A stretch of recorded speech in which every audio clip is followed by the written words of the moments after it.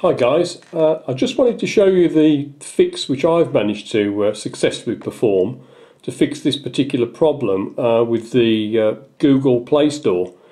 Uh, when I was using it before I'd click into an application I wanted to install, uh, click on the install button then I'd get this, this error come up.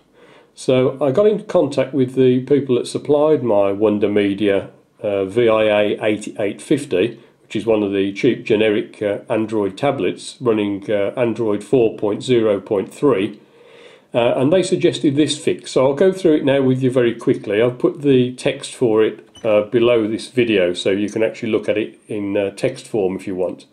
So first thing we're going to do is click on settings and then scroll down till we get to apps and click on that so you'll see across the top there's downloaded on SD card running an all.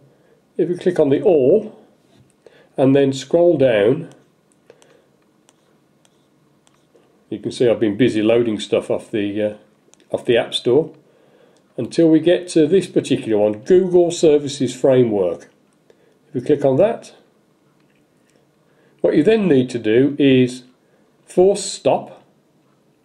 When that's finished, click Clear Data and then come out of